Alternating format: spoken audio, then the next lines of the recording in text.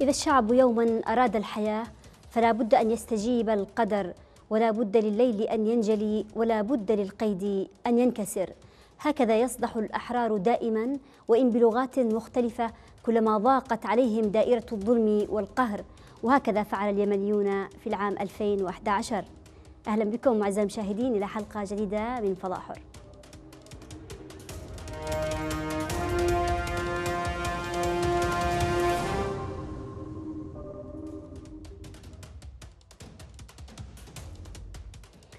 قبل ستة أعوام من هذه الليلة كان الشعب اليمني على موعد مع المعجزة ثورة الحادي عشر من فبراير المجيد. ستة أعوام من عمر الثورة ولا تزال كأنها في عامها الأول تواجه ذات العدو وإن في مكان آخر وبطريقة أخرى. جاءت ثورة فبراير في وقت كان فيه البلد يمضي حثيثا نحو الفشل والانهيار مع أعلى معدلات للفقر والبطالة والفساد في المنطقة والعالم. جاءت فبراير والمخلوع صالح يعد العدة العدة لتوريث الشعب والسلطة لنجله. جاءت فبراير بينما كان جزء من البلد يرفع شعار الانفصال والجزء الآخر يمضي خلف مشروع الردة الإمامية. في الذكرى السادسة تعود أسئلة البدايات. هل كانت ثمة خيارات أخرى للشعب سوى ذلك الخروج الكبير؟ ما الذي أنجزته الثورة؟ أين أخفقت؟ وإلى أين وصلت؟ وما هي مآلاتها؟ تختلف الإجابات باختلاف الموقف من الثورة الشعبية فمن كانوا ضدها يرون الآن أنها كانت سببا فيما آلت إليه البلاد أما شباب الثورة وأنصارهم وأنصارها فيرون أن ما يجري الآن ليس سوى تجل للمشكلة التي أرادت الثورة الحيلولة دون توسع توسعها. يرى هؤلاء أن ما كان يدور تحت وهم الاستقرار المخادع الذي كان يروج له المخلوع هو ما تفجر إلى السطح عقب الثورة وصار على النحو الماثل أمامنا. هذه الأسئلة هذه الأسئلة والإجابات المتضاربة نستضيف للإجابة عليها ولنقاشها معنا اليوم عبر السكايب من القاهرة القانوني والسياسي المعروف وأحد قيادات الثورة الشبابية الشعبية السلمية الأستاذ هايل سلام. يشرفنا حضورك معنا اليوم أستاذ هايل في هذه المناسبة الوطنية العظيمة ويشرفنا أيضا أن يكون ظهورك اليوم بعد طول انقطاع الإعلام عبر قناة بلقيس. أهلا وسهلا بك. شكرا جزيلا. أهلا أستاذ اسوان أهلا. أنا أنا سعيد جدا أن أكون معكم على قناة بلقيس. نحن و... نحن أسعد. آه، وتحياتي لك ولبرنامجك ولكل العاملين الأعزاء في قناة بلقيس الذين أعتبرهم أنا هو هذه القناة التي أعتبرها أنا الصوت الأمين المعبر الأمين عن روح فبراير المجيد. نعم وهذا أيضا الحضور أظن يعني أثار آه، سعادة الكثير من شباب شباب فبراير الذين عبروا عن آه، اهتمامهم أيضا بهذه الحلقة وبحضورك آه، فيها. دعنا نبدأ أستاذ هايل سلام بالسؤال حول ما الذي فعله أو توصيف حول ما الذي فعله الشباب في فبراير 2011 يعني كيف تصف أنت ما حدث في تلك المحطة المهمة من تاريخ اليمنيين؟ هي ثورة طبعا وحدث روح الشعب اليمني كما لم يحدث في كل تاريخ اليمن قديمه وحديثه. هكذا أزعم أنا أنه حدث الروح. الاحتشاد العظيم الذي حصل في 2011 هو يعني توحيد للروح الشعب اليمني آه، لم تحصل يمكن ربما في كل تاريخ اليمن ويعني فليكن التصنيفات ما كانت احتجاجات 2011 أو ثورة أو نسميها تسونامي أو زلزال. إنما الشباب احدثوا زلزالا ولا زالت ارتداداته مستمرة ويعني وتحقق اهدافها أثناء هذا السريان نعم هذا هذا الزلزال أو التسونامي أو الثورة التي وصفتها هل يمكن لها أن تسرق كما يتحدث البعض أو يصف البعض؟ هل يمكن أن تسرق أو يمكن أن آه، يتم إجهاضها ويتم تفريغها من محتواها بأي حال من الأحوال؟ لا من الصعوبه مكان يعني الثورات لا تسرق ولا تجهض وليس هناك أيضا ما يمكن أن نسميه البعض يعني ثورات الثورات المضادة، هناك ثورات فقط ثورات الشعوب. ما عدا ذلك هناك ارتدادات حركات ارتدادية ضدا على الثورات. وبالتالي فلا يمكن إجهاض يعني أحلام وتطلعات شباب فبراير العظيم. آه والثورة هي مسار وليست حدث يعني يحدث يحصل في فترة معينة وينتهي في نفس اللحظة هي مسار يعني تزلزل وتنتج آثارها آه، وهي ماضية في تحقيق الأحلام والتطلعات التي آه، كان الشعب اليمني يرنو إليها من خلال نعم. شبابه العظيم في شباب فبراير 2011 نعم أستاذ هايل يعني إذا ما تحدثنا عن توقيت هذه الثورة هل تعتقد بأن الظروف التي جاءت فيها ثورة فبراير كانت مكتملة وناضجة؟ هل كان المسار السياسي للبلد يعني قد استنفذ كافة المراحل لإحداث تغيير إلى أن وصل إلى الخروج الجماهيري إلى الشوارع؟ طبيعي يعني كان في يعني على كل امتداد الدول الربيع العربي كان هناك انسداد تاريخي وكان لابد من قيام هذه الثورات ثورات على مستوى الوطن العربي بالكامل وليس فقط في اليمن. اليمن هي حلقة من حلقات الربيع العربي. آه، التاريخ كان يعني بركة آسنة فجاءت يعني أحداث 2011 لتحرك هذه البركة وترمي بمفاعلها لتحقق يعني تطلعات آه، وأحلام الشعب العربي في كل الدول العربية. نعم أستاذ هايل. سوف آه، نذهب الآن لتقرير نستعرض فيه أبرز آه، محطات ثورة فبراير. ثم نعود بعده لاستئناف النقاش. ومعرفة ما هي أبرز المحطات بالنسبة لك أنت أيضا أستاذ هايل. في الخامس عشر من يناير 2011 انطلقت شرارة ثورة الشباب من أمام جامعة صنعاء. وفي الحادي عشر من فبراير خرج الثوار في تعز وصنعاء إلى الشوارع ووجهوا نداء لليمنيين للالتحاق بالثورة. في السادس عشر من فبراير سقط في ساحة الحرية بعدن أول شهداء الثورة الشبابية الشهيد محمد شاعن. وفي مارس توسعت رقعة الاحتجاجات وانتشرت ساحات التغيير في معظم المحافظات. في الثامن عشر من مارس ارتكب نظام صالح مجزرة جمعة الكرامة وسقط أكثر من خمسين شهيدا من ثوار ساحة التغيير. في إبريل أعلن شباب الثورة رفضهم للمبادرة التي أطلقها مجلس التعاون الخليجي. وفي نوفمبر وقع المخلوع صالح المبادرة الخليجية في الرياض التي تضمن لحزبه الاحتفاظ بنصف حقائب الحكومة. في يناير 2012 صوت مجلس النواب على الحصانة الممنوحة للمخلوع صالح ومعاونيه. في فبراير 2012 تسلم عبد رب منصور هادي السلطة عبر انتخابات توافقية. في الثامن عشر من مارس 2013 تم افتتاح مؤتمر الحوار الوطني بمشاركة القوى السياسية والمجتمعية. وفي الخامس والعشرين من يناير 2014 اختتم مؤتمر الحوار الوطني ووقعت القوى المشاركة على مخرجاته. في يوليو 2014 اجتاحت ميليشيا الحوثي محافظة عمران وسيطرت على مؤسسات الدولة فيها. وفي الحادي والعشرين من سبتمبر 2014 اقتحمت ميليشيا الحوثي العاصمة صنعاء وأعلنت انقلابها على الدولة بالتواطؤ مع قوات المخلوع صالح.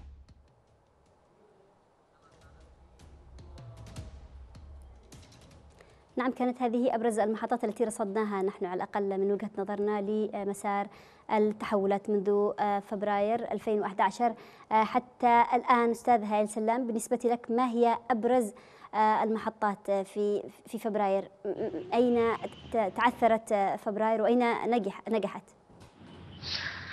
هو من الطبيعي أن الثورة تحدث الزلزال. وكان في اتساع يتعلق بالثورة أخذت الثورة حجمها اتساعا طولا وعرضا على امتداد التراب الوطني وأنتجت مفاعلها ولا زالت تنتج مفاعلها وآثارها مستمرة حتى اليوم وستستمر في المستقبل ولن يتوقف لأن المسألة تعبير عن روحية الشعب الشعب اللبناني. ليست فقط المسألة تتعلق بانقلاب على السلطة وإنما يعني لها أهداف لها دوافع لها آثار لها امتدادات لها أحلام وتطلعات لا يمكن إيقافها في أي يوم من الأيام.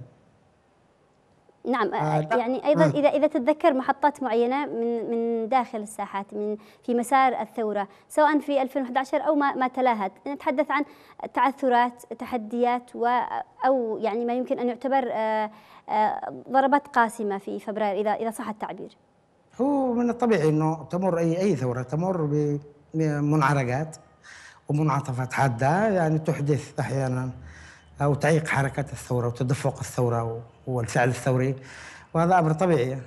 ليس هناك ما يدعو للأسف في, في هذا لكن أبرز ما كان يعيق الثورة هو يعني ما فعله المشترك برأيي فيما يتعلق بمنح الحصانة للمخلوع لعبد الله صالح.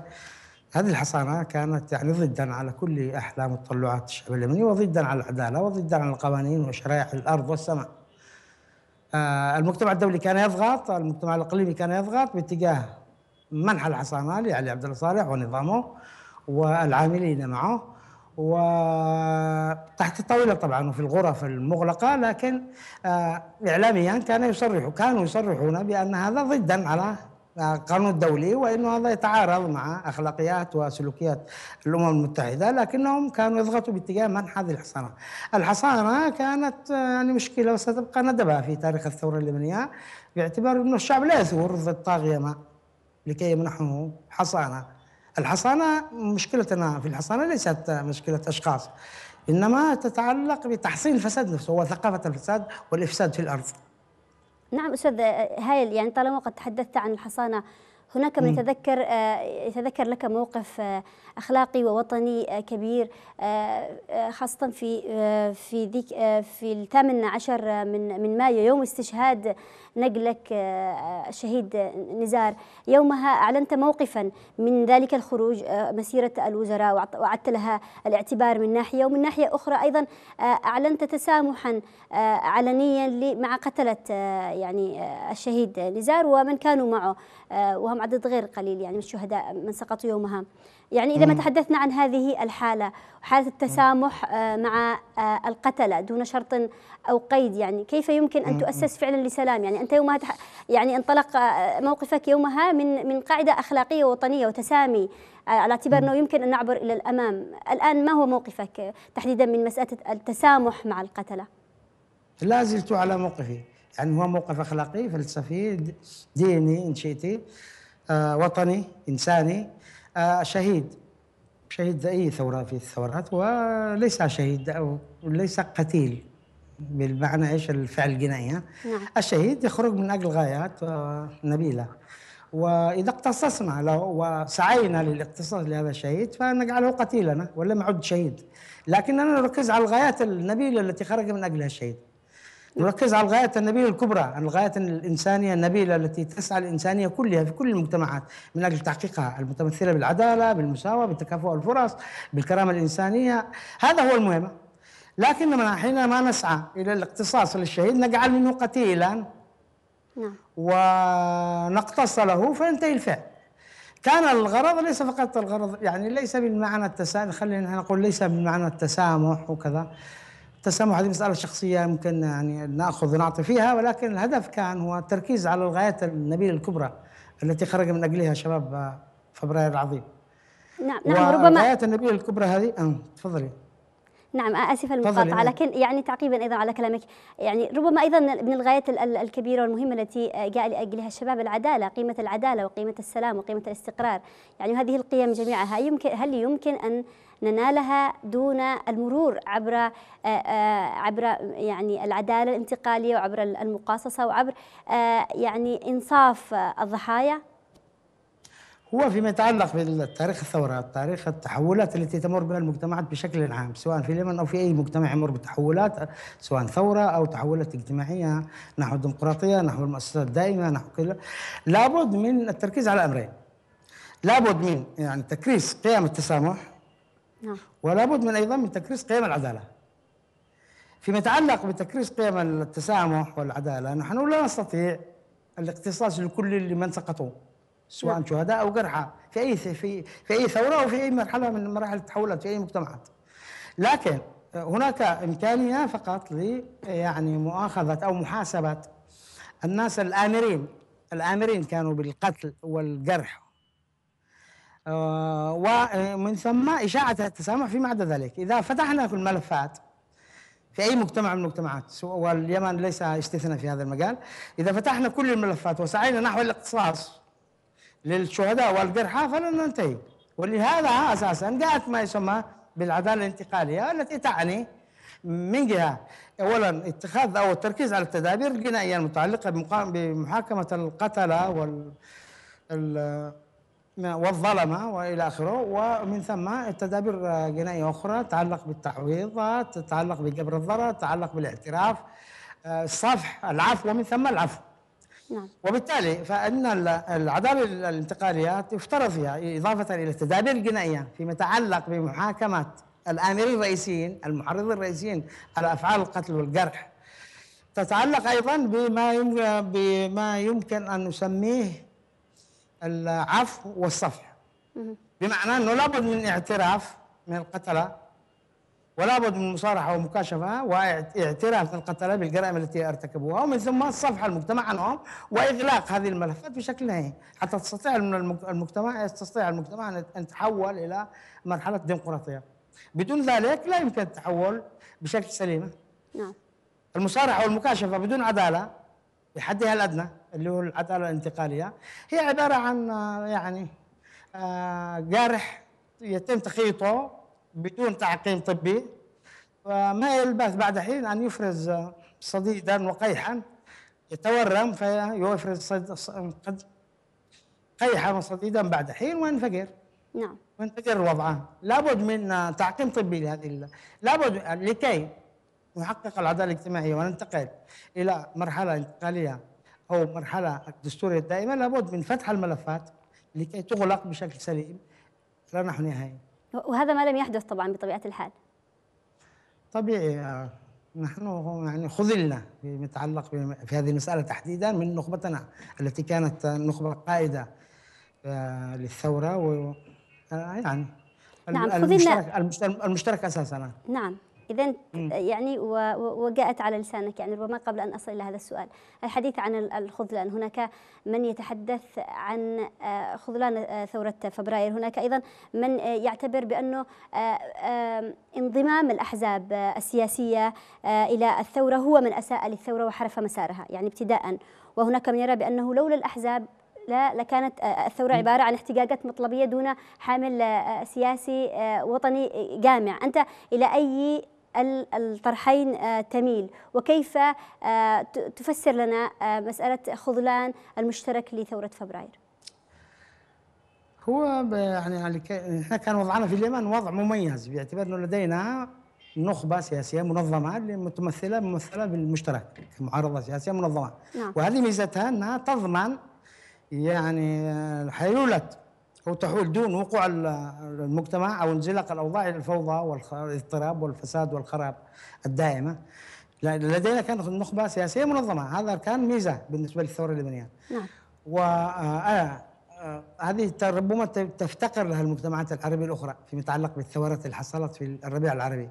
لدينا كان نخبة سياسية منظمة. نعم. وهذه ميزتها هي تحول دون وقوع دون انزلاق الأوضاع أثناء الثورة وأثناء التحول الذي تقوده الثورة إلى الفساد والاضطراب والخراب الدائم. لكن ما حصل بعد ذلك هو فقط يعني لنقول تاثيرات اقليميه ربما آه تركيز الأحزاب ربما على الحصص والمحاصصة والحصول على مكافأة آنية للثورة.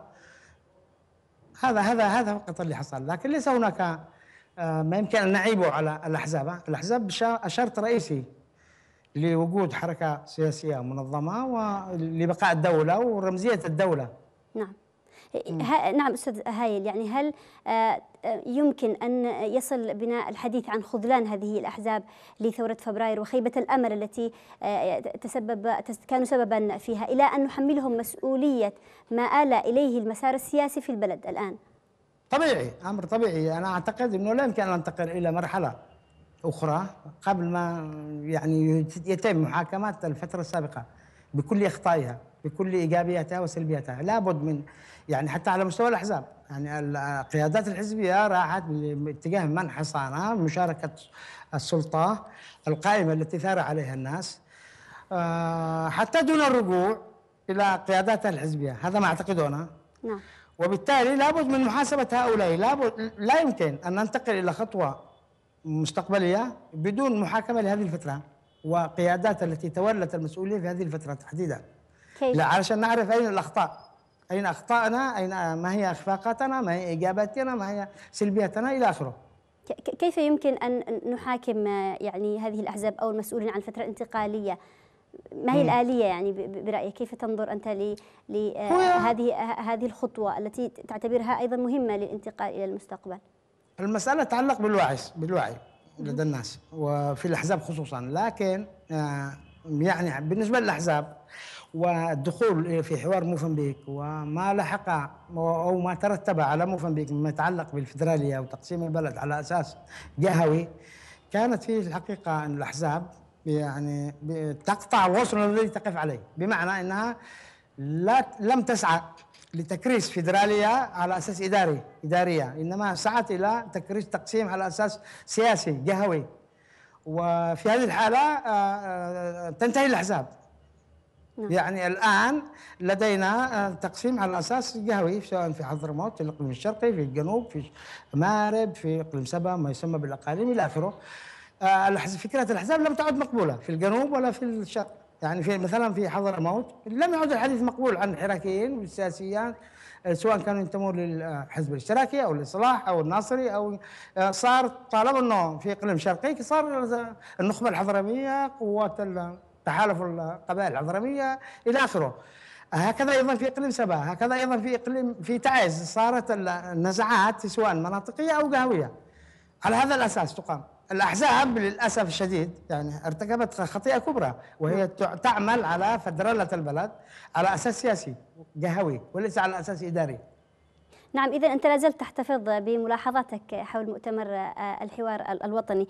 آه، طبعا آه، كما تعرف أن مخرجات الحوار الوطني التي كان لنا مآخذ كثيرة عليها أصبحت الآن واحدة من أهم المرجعيات التي تمسك بها شباب فبراير أو الذين ينتمون الآن إلى شباب فبراير ومشروع الدولة. إذا صح التعبير أصبحت واحدة يعني من أهم المرجعيات التي يتمسكون بها. ألا تعتقد بأن الحديث عن ملاحظاتنا أو ملاحظتك تحديدا أيضا وغيرك من المهتمين حينها بمخرجات حول مخرجات الحوار الوطني تعد الآن ترفا أمام ما آلت إليه الأمور؟ شيء طبيعي إنه مخرجات الحوار الوطني صارت مرجعية الآن نقطة مرجعية وجميع المكونات السياسية التي حضرت موفنبيك ووقعت على مخرجاته وصادقت على ما ترتب عليه هي مسؤولة عن تعهداتها ولا يمكن الرجوع عن هذه المسألة. ومهما كانت تحفظاتنا على التجربه على بعض التفاصيل فيما يتعلق بالفدراليه وإلى آخره لكن لدينا الآن صيغتين للأقلمة. هناك أقلمة على أساس شمال جنوب 50% 50% وفقا لثقة بن عمر. وهناك أقلمة وفقا لرؤية عبد الرب منصور هادي. وأعتقد أنه رؤية منصور عبد الرب منصور هادي بما يتعلق بالست الأقاليم هي رؤية يعني حالمة ورومانسية. والرجل أعتقد أنه صادق. نعم. ولكنه غير قادر ربما على تنفيذ خطته. ما يجري على الأرض هو تكريس لوقائع تم الاتفاق عليه وفقا لثقة بن عمر. نعم. وثيقة بن عمر التي أدت إلى تقسيم البلد على أساس فيدرالية شمال جنوب. نعم. صحيح كان هناك هناك تفويض كان فيما يتعلق بتحديد الاقاليم كان في هناك تفويض لعبد الربو والمكونات صادقت عليه. حتى نعرف نحن حركة الحوثي. آه، من ضمن أهدافها في 21 سبتمبر تقول أهدافها الأول إسقاط القرعة إسقاط حكومة الوفاق تنفيذ مخرجات الحوار. نعم. وهم سعوا سعوا لتنفيذ مخرجات الحوار فيما يتعلق بالاقلمه على أساس تكريس تقسيم البلاد على أساس شمال جنوب. وما يدور الآن هو صراع بين صيغتين. صيغة الاقلمه على أساس آه، وثيقة بن عمر هذه اللي شمال جنوب مع خاص لولايات النفط والغاز. نعم. وأيضا آه، صيغة عبد الربوه الاختيار بين الصيغتين طبعا. نعم. هذا سؤالي. يعني ما هي الصيغة برأيك؟ الافضليه لصيغة عبد الربوه نعم أستاذ هايل. لانك يعني إذا كان إذا كنت تتحدث عن عن صيغتين للأقلمة وهي والأقاليم ربما اتضح لنا آه، آه، بعد ذلك بأنها واحدة من أهم أسباب يعني تدهور الأوضاع وصولا إلى الحرب. إذا نحن نتحدث عن صيغة آه، جمال بن عمر شمال جنوب وأيضا صيغة آه، الرئيس عبد الربو الذي هي ستة أقاليم والذي اعتبرته آه، اعتبرته مشروعا حالما. ما هو ما هي الصيغة برأيك المنطقية والواقعية التي تنزع إليها؟ هو في إشكال في إشكالية فيما يتعلق بالفدرالية. نحن مع مع الفدرالية نظام من أجمل الأنظمة. لكن فيما يتعلق بالوضع اليمني أريد تمرير صياغة تخدم فقط شركات آه، أجنبية شركات النفطية وشركات غاز والشركات العابرة الجنسية. نحن مع الفدراليه كفدراليه كمو... ك... ك... كما نتخيلها وكما نحلم بها. لكن أحيانا قد يقدم لك علاج دواء معين بمواصفات معينة لكن الدواء الكبسولات داخل ال... ليست هي نفس لا تحمل نفس المواصفات؟ يعني تم أريد تمرير صيغة لتقسيم البلد على أساس يعني آه، فصل الثروة الطبيعية عن الثروة السكانية أو آه آه. ويعني تأمين القطاع النفطي اللي كان يسمى الإقليم النفطي سموه الخبراء الاجانب في أول معاضرات في موزمبيق جيء بخبراء اجانب وكانوا يحاضروا عن الفدراليه وتأمين القطاع النفطي أو الإقليم النفطي. هناك الآن صيغتين للأمر. استحدثوا مستوى ثالث للفدراليه ليس موجود في كل فدراليات العالم اللي هو مستوى الولاية وأعطوها منح صلاحية إدارة النفط والغاز. نعم. يعني صرنا الإقليم نفسه ستة اقاليم أوكي تمام ما عندنا مشكلة بس أعطوا الولايات النفط والغاز صلاحية إدارة النفط والغاز واستحدثوا بهذا مستوى ثالثة. في مسودة الدستور نقل النص حرفيا من مسودة بن عمر من وثيقه جمال بن عمر والتي صاغها طبعا خبراء المرافقين له وهم خبراء لهم ارتباطاتهم بدول ومصالح وإلى آخره نقل هذا النص إلى مسودة الدستور ويقول حرفيا الشعب في اليمن حر في تقرير مكانته السياسية والاقتصادية والاجتماعية على كل مستوى من مستويات الحكم وفقا للعهود والمواثيق الدولية التي صادقت عليها اليمن. نعم. طبعا يقصدونه كما هو وارد في وثيقة بن عمر اللي هو العهد الدولي للحقوق السياسية والمدنية والسياسيه. أول مادة أول مادة في هذا النص في هذا العهد. هي حق تقرير المصير نحن ندستر أو صار عندنا محاولة لدستره حق تقرير المصير أنا لا لا لا, لا أستطيع أن أفهم كيف يمكن للدستور أن يقر دستره حق تقرير المصير الدستور هو نفسه هو تقرير المصير بمعنى إنه الشعب نفسه حينما يستفتى على دستور معين هو يستفتى على هذا الدستور. أنا مع حقوق أنا مع أنا مع حق الناس. في أن يستقلوا بإدارة شؤونهم في كل سوق. في كل مديرية في كل ناحية من من أنحاء البلد. هذا ليس فيه خلاف. ضد الظلم ضد الطغيان ضد فرض الأمور بالقوة ضد فلسفة الأمر الواقع ضد الطغيان ضد الظلم. ومع الناس في كل ما يقررونه بشؤونهم سواء في الشمال في الجنوب في حضرموت في أي في أي مكان. لكن إذا اتفقنا على الدستور فليكن اتفاقا على الوحدة وليس اتفاقا على الانفصال. نعم. أو أو على حق تقرير المصير. هذا أمر لا أفهمه. وهناك نصوص يعني ملغمة في المسودة. أنا طبعا الآن قد أنا بين صيغتين. صيغة الأقلمة قد فرضت كواقع الآن فرض الانقلاب والحرب فرضت كواقع على الأقلمة. لكن هناك الآن كل ما يدور المحرك السياسي للحرب والسياسة في اليمن الآن يدور حول صيغتين لتكريس الأقلمة، إما على صيغتين وفقا لثقة بن عمر شمال جنوب مع إعطاء وضع خاص لولاية النفط والغاز أو مع صيغة عبد ربه. التي لا تعني لا ليس هناك شمال وجنوب وشرق وغرب. اليمن موحدا في أقاليم فليكن. أنا مع صيغة عبد الربول باعتبارها أفضل السيئة لكن ليس بدون تحفظات. نعم. يعني هناك ما يمكن ما يجب مراجعته في الصيغة فقط. نعم. إذا آه، يعني أغرقنا في هذه النقطة ولو أنها يعني مهمة جدا وربما هي كانت آه، سببا رئيسيا إلى وصول الأمور إلى الحرب. والانقلاب يعني بداية ومن ثم آه، الحرب برأيك يعني سؤال مباشر من هو المسؤول الأول عن الحرب في اليمن؟ دعنا نقول الحرب وكل التداعيات الإنسانية التي ترتبت عليه. يعني المسؤولية يمكن توزيعها بنسب متفاوتة على كذا على عدة أطراف لكن فيما يتعلق بالانقلاب على روح التوافق وروحية التوافق على أسس التعايش على آه يعني أسس التعاقد الاجتماعي العقد الاجتماعي اليمني الذي كان قائما أو الذي كنا بصدد الوصول إليه يعني تحمل مسؤوليته جماعة الحوثي وعلي صالح. هذا أمر واضح يعني الانقلاب فرض الأمور بالقوة أمر مرفوض بالمطلق. بالمطلق. لا يمكن قبوله. لا يمكن قبوله على الناس وفي القرن الواحد والعشرين أن تقبل أن تفرض صيغة ما على الناس. لا يمكن. ولن تنجح ولن تستمر ولن ولن تستطيع يعني يلا حصلت الأمور. وبالتالي كيف يمكن أن يكون أو يمكننا الحديث عن صيغة شراكة مستقبلية بعد ما حدث؟ نحن شركاء نحن شركاء في المواطنة. هذا أمر أساسي. نعم. أنا ضد النزعات الثأرية ضد النزعات الاستئصالية الاكتثاثية الحوثيين ليسوا جماعة كوماندو لا وأنا بالتأكيد سؤالي لا لا لا يتضمن يعني أي من هذه ال ال يعني المفاهيم. إنما أتحدث عن عن عدالة يمكن أن نمر عبرها لنمضي نمضي إلى المستقبل. يعني كيف يمكن أن نتحدث بعد كل هذا عن الشراكة؟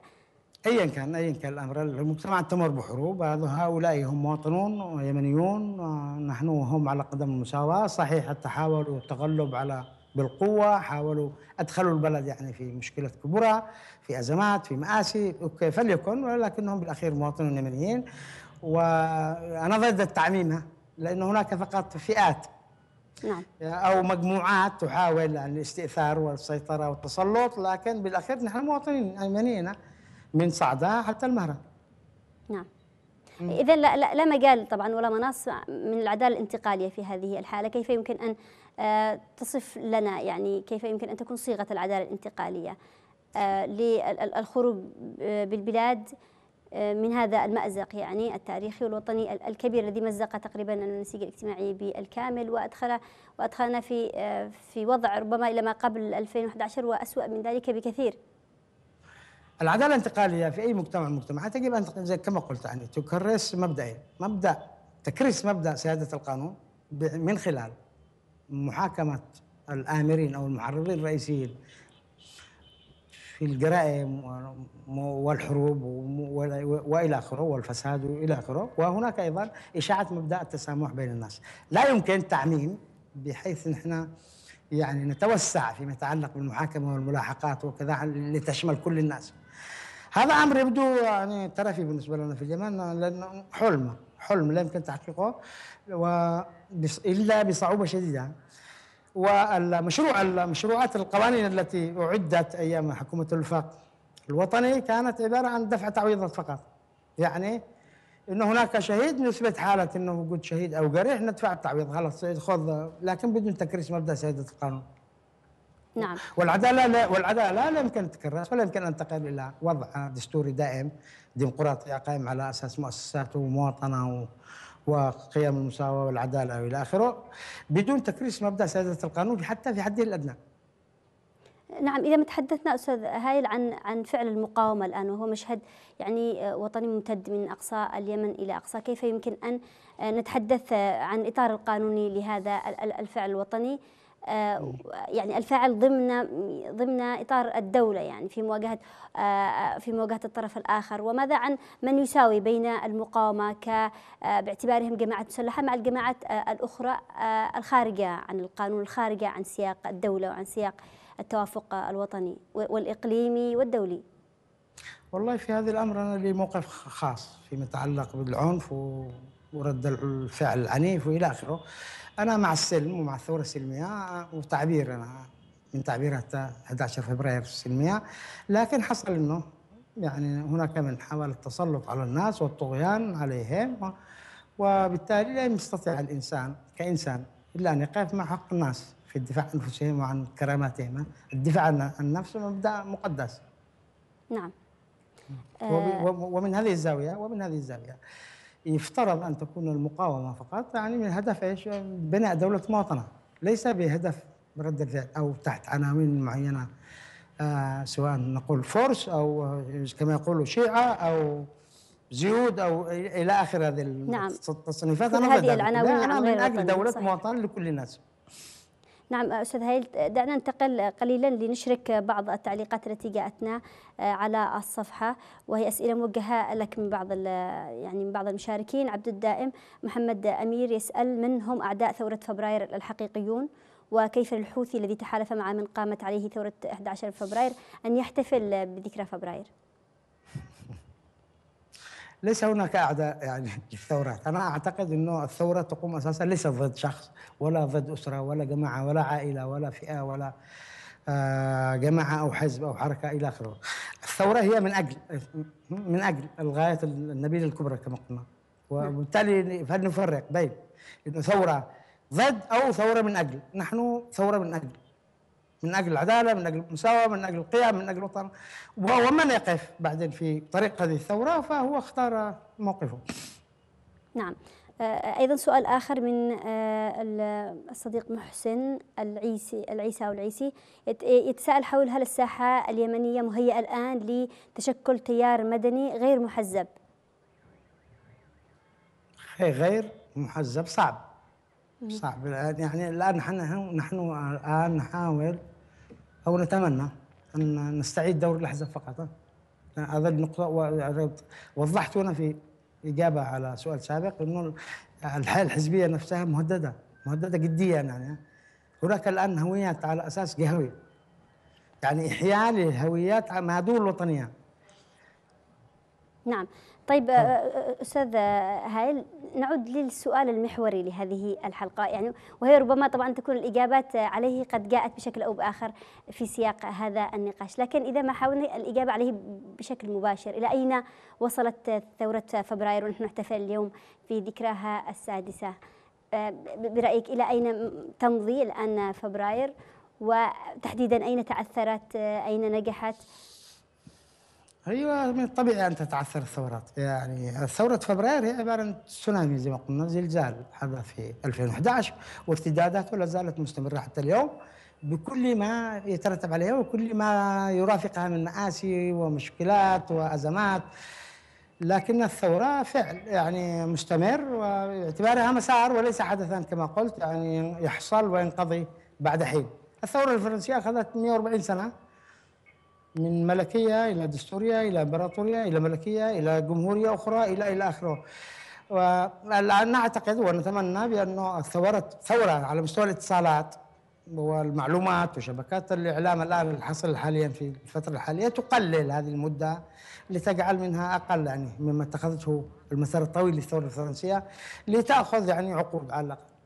يعني ليس بإمكان جيل أو جيلين آه، إنجاح أو إنجاز أهداف الثورة كما تقلت كتطلعات في 2011 قد نعم. نحتاج إلى جيل إلى جيل أو جيلين لكن فعل الثورة مستمر اعتبارها ثورة ليست كانت لم تكن ثورة فئة ليست ثورة نخبة ليست نخبوية هي ثورة شعب والروح التي تجلت روح الشعب اليمني كما التي تجلت في 2011 آه، نعم. لا يمكن أن لا يمكن يعني إعاقتها بأي طريقة من كان نعم يعني آه، دائما الثورات كل كل الثورات آه، تنتج قواها. برأيك هل أنتجت ثورة فبراير قواها أو نخبها؟ وأين هي نخب فبراير الآن بعد ست بعد ستة أعوام من منذ انطلاقها؟ والله شخصيا أنا لا أراهن إلا على شباب فبراير على نعم. الشباب أنا ليس لي رهان إلا على الشباب سواء وبالذات يعني شباب الأحزاب. وأيضا شباب المستقلين يعني لهم كل الاحترام والتقدير. لكن آه، يعني الظروف التي سارت عليها الأمور من الثورة إلى التسوية إلى الحرب. يعني أدت إلى أنه يعني بعض الأمور تأخذ كمون مرحلة كمون تدخل في مرحلة كمون انتظارا لما سيؤول ولما سيكون. لكن بالأخير أعتقد أن الروح الشعب اليمني موجودة حية فاعلة تسري في أوساط الشباب وسنستعيد إن شاء الله يعني لحظة اللحظة المفترضة من أجل يعني الحفاظ على الهوية اليمنية من التشظي والتقسيم وتشرذم إن شاء الله. كيف مم. كيف برأيك أستاذ هايل؟ كيف يمكن أن نستعيدها؟ آه، هو في ما هي الأدوات التي لا زالت يعني متاحة الآن أمام آه، شباب فبراير وهم الذين آه، قلت بأنك تراهن عليهم وليس سواهم سواهم لتجاوز هذه المرحلة. شباب ما شباب فبراير موجودين يعني في الشمال أو في الجنوب لا ننسى بانه التقرير قال تقريركم الآن قبل شوية في كان أول شهيد من شهداء ثورة فبراير هو من عدن آه. ويعني أنا الشعب اليمني كما نقول أو كما قد نقول شعب ملاطفه زي الطفل نعم. نتيجه لبراءته وعفويته. يعني في حين إنه هناك مشاريع خاصة تسعى باتجاهات مختلفة هناك ما يوحد الشعب اليمني كوحدة على مستوى الهوية وليس على مستوى الإدارة نعم. السلطة قد تشظى السلطة ولا تنهار ليست هذه مشكلة لكن روح الهوية تبقى جامعة سواء في الشمال أو في الجنوب نعم يعني أنا كيف. أنا كنت في ندوة قبل أيام هنا واستغرب إنه الأمين العام من الحزب الاشتراكي اليمني الأمين الأمين العام المساعد يقول إنه صيغة ست الأقاليم التي أقرها أو يقرها أو يحاول فرضها عبد الرب ليس لا تمثل مخرجات الحوار فطلع له واحد من حضرموت الدكتور سعيد سكوتي قال له كيف مش مخرجات الحوار؟ نعم. أنتم وقعتم على هذه الصيغة ب- وفوضتم الرئيس على أساس تحديد الأقاليم. شوفي لاحظي هنا يعني لا زالت حتى المكونات آه، يعني المكونات الممثلة الآن المنحازة الآن لمشروع آه، الدولة والمشروع الشرعية لا زالت أيضا لديها خلافاتها الداخلية. وربما هذا ما أخر آه، إنجاز المشروع الوطني وإنهاء الانقلاب برأيك؟ أمر طبيعي. يعني لكي يعني لكي تنجح الشرعية، الشرعية في إنجاز بالأخير لابد ما تنجز مشروعها الخاص وتحققه على الأرض وتقدم نموذج آخر مختلف للناس. علي صالح يتقدم وهو باقي مست- حتى الآن باق لأنه الآخرين يحاربوا بأساليبه نفسها مع إنه القيم هي ضعفت نقطه نقطة ضعفه الكبرى. والذين يحاربون بأساليبه هم يبدون كتلاميذ سيء التحصيل أمامه ولذلك يتفوق عليهم باستمرار. يعني أنت تعتقد تفوق هذا الطرف يعني انتصار أم إنه ليس- آه، ليس تفوق نعم استثمار. للأدوات التي آه، امتلكها واستحوذ عليها خلال الفترة الماضية والتي جاءت آه، أيوة. الثورة الشبابية لاستعادتها وتوزيعها بش- بشكل متكافئ وعادل بين أبناء الشعب. صحيح. كان يجب أن فرض أسلوب مختلف لإدارة السلطة بعد بعد ثوره 2011 لابد كان من تقديم نموذج مختلف. الآن مع الحرب والمقاومات إلى آخره لابد أيضا من تقديم نموذج مختلف في- المناطق التي يسموها محررة مع إنه ما وضعت يعني وصف التحرير أو كذا نحن لسنا أمام الاحتلال الاجنبي نحن في صراع ضد السلطة هناك قوة تحاول التسلط والاستئثار على الشعب اليمني حفاظا على امتيازات و- وإلى آخره. لكن يجب أن تقديم نموذج مختلف ما هي ابرز جذرياً. ما أبرز عناوين هذا النموذج برأيك؟ يعني إذا ما هؤلاء هؤلاء تقديم الذين عناوين يقدمون أنفسهم آه، سريعة صالح للشرعيه لتقديم أساسا هذا النموذج. مشتقات علي صالح. نعم. الذين يقدمون أنفسهم في فيما يسمى بالشرعية أو ما نسميه نحن بالشرعية. نعم. يقدمون أنفسهم باعتبارهم منشقون عن صالح، لكن في الحقيقة في كثير من سلوكياتهم هم عبارة عن مشتقات لعلي عبد الله صالح. مشتقات وليس تقديم؟ مشتق مشتق آه، منشقون نعم. عبد الله صالح، ويجب تقديم نموذج مختلف جذريا على أساس قيم أخلاق تراعي الناس ومصالح الناس. نعم أنا سؤال الآن في القاهره أنا الآن في القاهرة وهناك من يعني من الحكومة من يأتي هنا لتزويج ابن أبنائه آه، في فنادق ويعني وحفلات بربما مئات الآلاف من الدولارات. وهذا محسوب على الشرعية في وضع يعني فيه البلد ينهار. والناس نعم يسقطون هذه ابرز أبرز نقاط. الشرعيه صحيح. أيضا آه، وهذا ربما سؤال أخير سوف آه، نأخذه من أحد ال- ال- المشاركين. يضاف إلى آه، كما أشرت إلى تعثر أو سوء إدارة ال- البلد بالنسبة لي الشرعية. أيضا هناك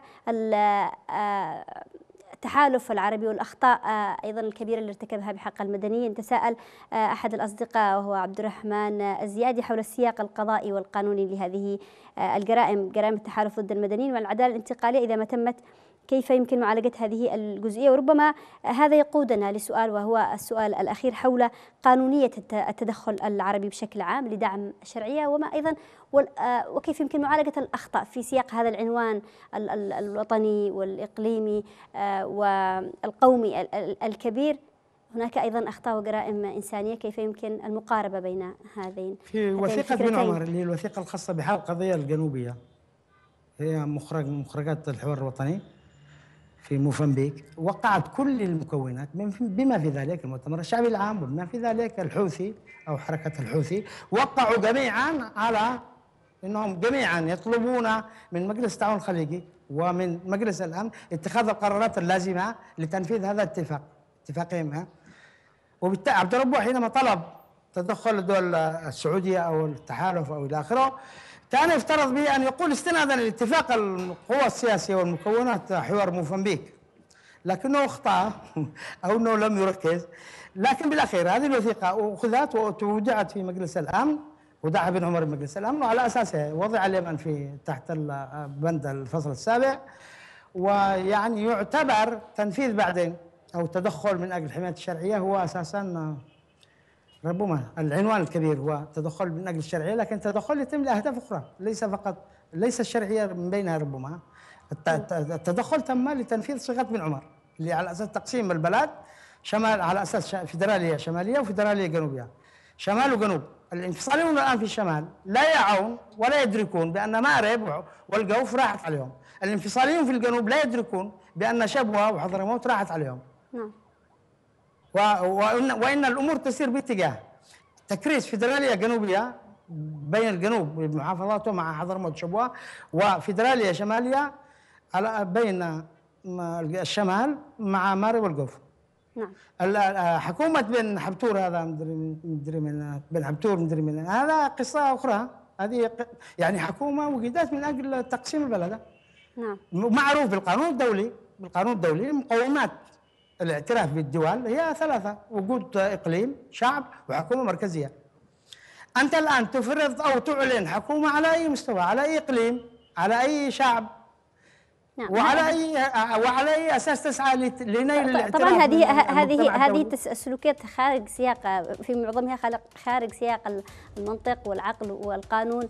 المحلي والدولي. آه، كلمة أخيرة أستاذ كلمة أخيرة أستاذ هايل سلم. نعم كلمة أخيرة فقط توجهها لشباب كان البلد. أي شيء يهدد سلامة الكيان الوطني أنا ضده. نعم أستاذ هايل في في, في أقل من دقيقه أنا مع رؤى.